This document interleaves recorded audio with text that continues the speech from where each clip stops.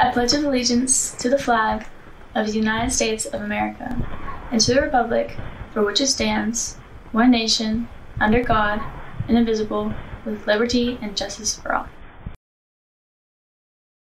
Honor the Texas flag. I pledge allegiance to thee, Texas, one state under God, one indivisible.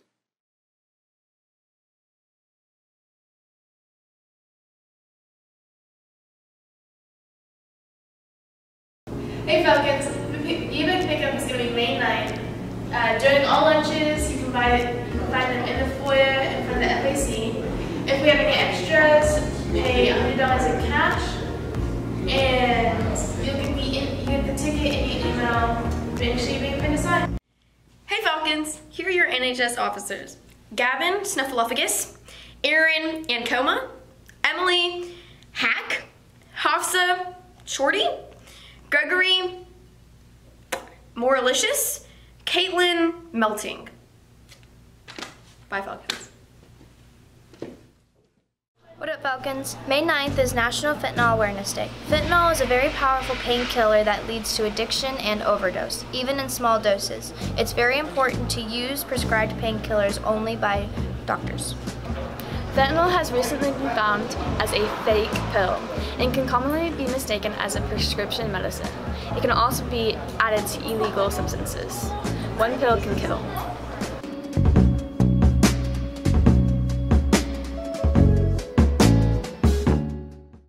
Hey, Walk is going to be starting in May 2022 with the elementary schools as follows.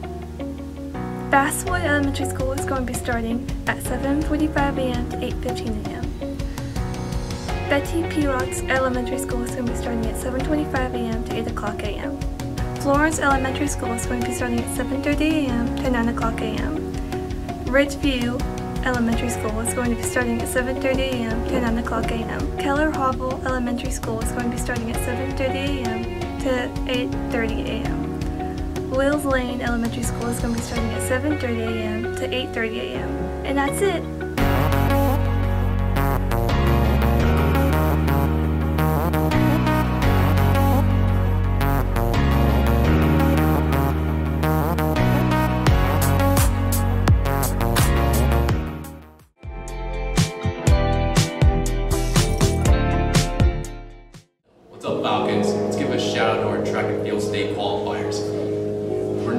Bernard Francois came in 11th at 200. We got LeVar Gordon came in 12th in high jump.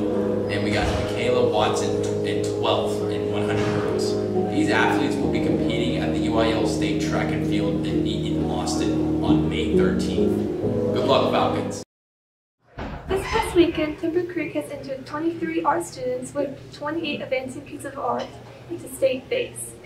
Timber Creek High School took home five gold seal medals, with Keller ISD taking home nine gold medals in total.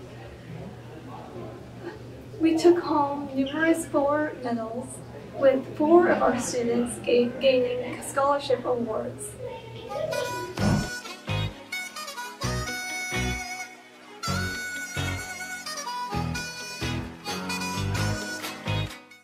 Hey seniors, you wanna know what's a red flag? Not coming to graduation rehearsal at 5.30 p.m. in the cafeteria, May 25th. After the mandatory rehearsal, come out to the football field for a little senior sunset. At graduation, do not bring noisemakers, cowbells, air horns, etc. left at home.